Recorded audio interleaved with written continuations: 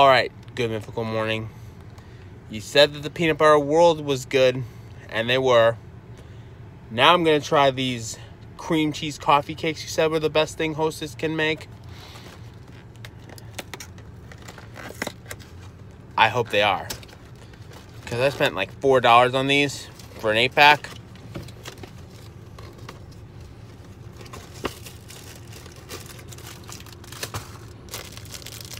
They look like a basic cheese Danish.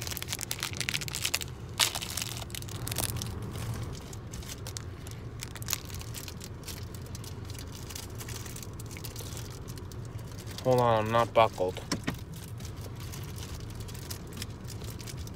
feel a bit slimy actually. Hmm.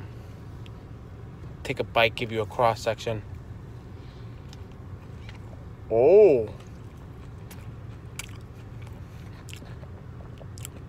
This is like cheesecake, but turned up to 11.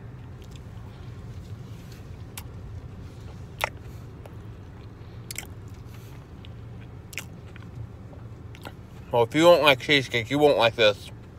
But I love cheesecake.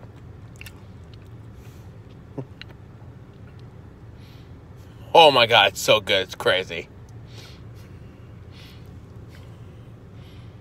Yeah, I definitely recommend you try this. And it's new, too.